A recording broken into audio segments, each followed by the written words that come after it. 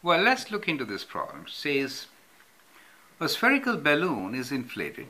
Show that the instantaneous rate of change of volume with respect to radius is equal to surface area of the sphere. Okay, so the balloon is in the shape of a sphere and we need to find the instantaneous rate of change of volume with respect to radius. Okay, so I hope you remember the formula for volume of a sphere. So the volume of a sphere is 4 by 3 pi r cube. Okay, and what is the surface area? Surface area of a sphere is 4 pi r square. Okay, so the basic problem is that rate of instantaneous rate of change of volume with respect to radius is same as the surface area of the sphere. Okay, so okay what we will assume here is that when we change the radius by a small amount, let's say h, right, then the rate of change of volume will be found and we'll see what it comes to, okay. So, so rate of change of volume with respect to r radius will be, let's say the radius is changed from, let's say that the, this is a sphere, right, and uh, let's say our radius is r and we are changing it by very very small and becomes r plus h so we have uh,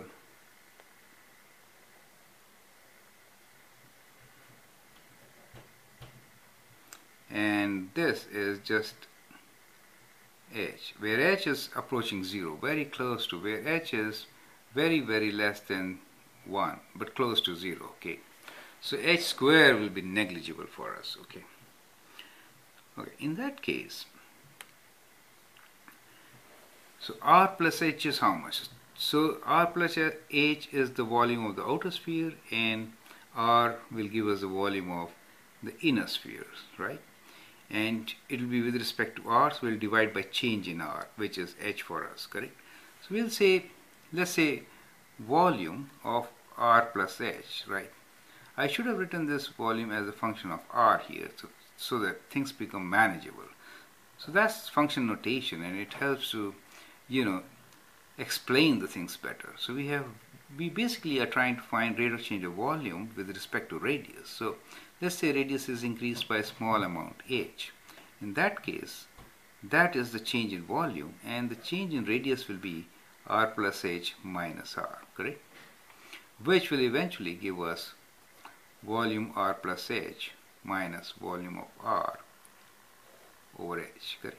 Now, so we'll replace this term 4 by 3 pi is constant, so there is no change in this term. So we can take 4 by 3 pi outside, correct? And then r cube changes basically. So r cube is the thing which will change and we'll say r plus h whole cube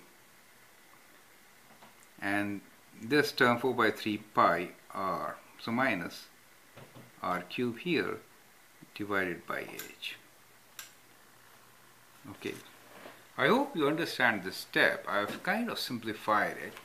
So what I wrote here is that since 4 by 3 pi r cube if you open it you will get 4 by 3 pi r plus h cube minus 4 by 3 pi r cube right? And then I factored out 4 by 3 pi so that I get r plus h whole cube minus r cube, right? Okay. Now, we can use difference of cube formulas to expand it, or we can expand like a plus b whole cube either way, right? So let's do r plus h whole cube. So we'll take h also outside, so we get 4 pi over 3h, and here we have r plus h whole cube. A you remember a plus b whole cube? The same formula we are using. So r cube plus 3 r square h plus 3 r h square right? Plus h cube. This is the expansion of the first term minus r cube. That's what you get right? So when you simplify this you get 4 by 3 4 by 3h and inside you get r cube and r cube cancel out. And we say this is very negligible So we cancel out this also since since h is small, right? So h square and h cube will be very small, right? We say negligible. So so we neglect them. Correct. And we know from here, you know, r cube in r cube will cancel out, right? So you are basically left with 3 r square h, correct? So which results into h and h will cancel out, right? And 3 and 3 will cancel out. So you got 4 pi r square. Do you see that? 4 pi r square. So, so just to show you very clearly, this h and h will cancel out. And this 3 and 3 will cancel out. So you're left with 4 pi r square, which is the surface area, right? So that's what we found here. This is rate of change of volume. I should have written clearly here. We say rate of change of volume with respect to radius r, okay? And this, as we found just now, is equal to the area of the sphere, right?